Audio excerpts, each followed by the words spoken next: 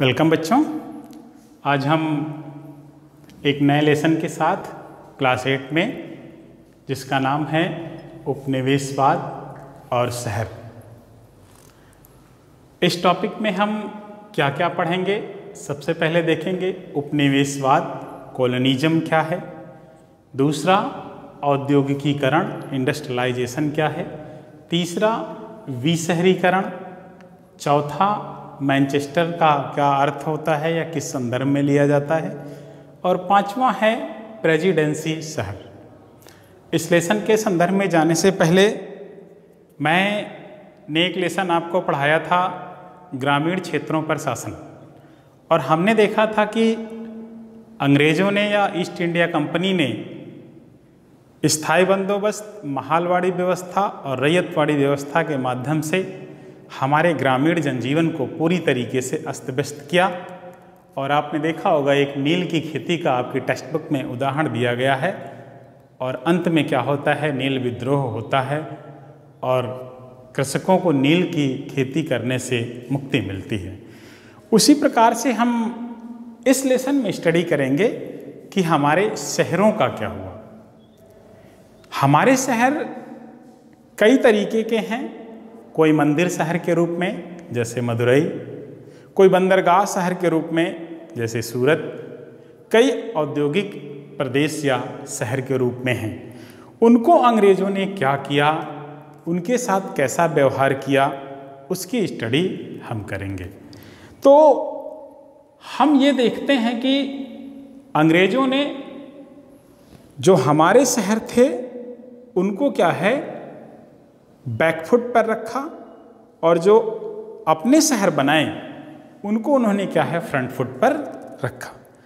सबसे पहले हम ये जानेंगे उपनिवेशवाद क्या है।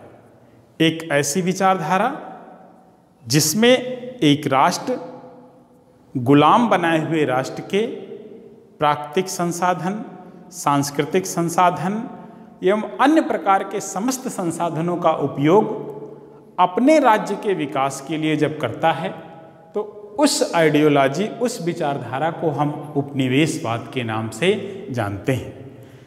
इसके बाद औद्योगिकीकरण को आते हैं। औद्योगिकीकरण का आशय होता है, जब तक उत्पादन की प्रक्रिया हाथ से चलता है, तब तक हम उसे औद्योगिकीकरण नहीं कहते हैं। जब उत्पादन की प्रक्रिया क्या है मशीनों के माध्यम से होने लगती है तो हम उसे क्या है, औद्योगिकीकरण कहते हैं। और नाइनटीन सेंचुरी में क्या है, दुनिया के देशों में खास तौर से यूरोप में क्या होता है, मशीनों द्वारा कल कारखानों के माध्यम से उत्पादन की प्रक्रिया शुरू हो जाती है। लेकिन हमारे यहाँ क्या होता है कि नाइनटीन सेंचुरी में हमारे जो औद्योगिक शहर रहते हैं वे पतन की ओर जाने लगते हैं। जिसके उदाहरण में हम आपको बताएँगे, हमारे यहाँ का फ़ेमस जो रहता है, मछलीपट्टनम रहता है, सूरत रहता है, श्रीरंगापट्टनम रहता है, ये अपने उद्योगों से निर्मित वस्तुओं के लिए जाने जाते हैं। लेकिन जैसे ही क्या है, ईस्ट इंडिया कंपनी की सत्ता अस्तित्व में आती है, ये शहर क्या होते हैं, बैकफुट में जाने लगते हैं। अंग्रेज़ इनका क्या है विकास नहीं करते हैं, बल्कि इन्हीं के पैरल क्या है? दूसरे शहरों का निर्माण करने लगते हैं। और उन शहरों में आप देखेंगे, उनमें आता है मद्रास, उनमें आता है कोलकाता, उनमें आता है आपका मुंबई या बम्बई तो ये सब, ये क्या है? सब पीछे जाने लगते हैं। और इसी पीछे जाने की प्रक्रिया को ही क्या है? हम विशहरीकरण कहते हैं। विशहरीकरण का आशय जब सरकार या कोई संस्थान बने बसाए शहरों को क्या है? धीरे धीरे वहाँ से पलायन करने लगती है। यानी उनका क्या है? न्यायोचित विकास पर ध्यान नहीं दिया जाता है। तो उस प्रक्रिया को क्या है? हम विशहरीकरण कहते हैं। ये शहरीकरण का अपोजिट है। शहरीकरण में क्या है? सरकार किसी क्षेत्र विशेष में सुविधाओं का जाल बिछाती है, जैसे education centre, research centre, industrialisation, ये सारी चीज़ें। लेकिन विशहरीकरण में क्या है? इन्हीं चीज़ों को क्रमिक गति से क्या है? महत्व न देना, जिससे क्या है? वो शहर धीरे धीरे पतन की ओर जाने लगता है उस प्रक्रिया को क्या है? हम विशहरीकरण के नाम से जानते हैं। फिर एक टर्म है नाइनटीन सेंचुरी में मैनचेस्टर।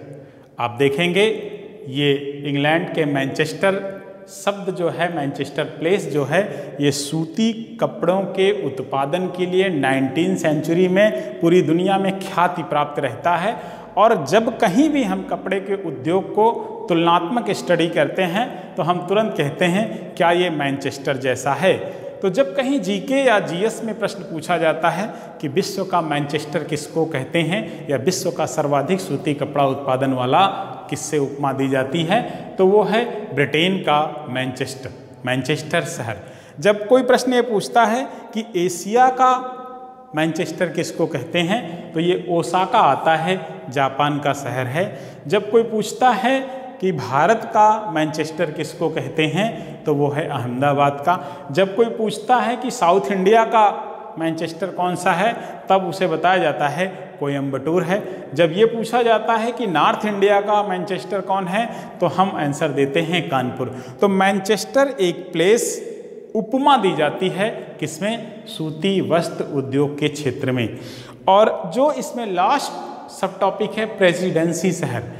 प्रेसिडेंसी शहर, अंग्रेज़ों ने उन शहरों को विकसित किया, जहाँ पर क्या है, उन्होंने प्रारंभिक चरणों में क्या है, अपनी फैक्ट्री स्थापित की और उनमें क्या है, सबसे पहला जो शहर होता है, मद्रास रहता है, दूसरा जो रहता है, कोलकाता रहता है और तीसरा मुंबई रहता है और इन्हीं शहरों पर कोलकाता में आप देखेंगे कि जो गवर्नर जनरल होता है और जो मुंबई है और मद्रास है, वहाँ पर गवर्नर रहते हैं और इन्हीं के माध्यम से क्या है, भारत में ईस्ट इंडिया कंपनी शासन करती है। इसलिए इसे क्या है, प्रेसिडेंसी शहर के नाम से जाना जाता है। ये प्रेसिडेंसी शब्द जो है, वो प्रेसिडेंट शब्द से बना हुआ है। और इन्हीं तीन शहरों को, कलकत्ता, मुंबई और मद्रास को इम्पोर्टेंस दिया जाता है।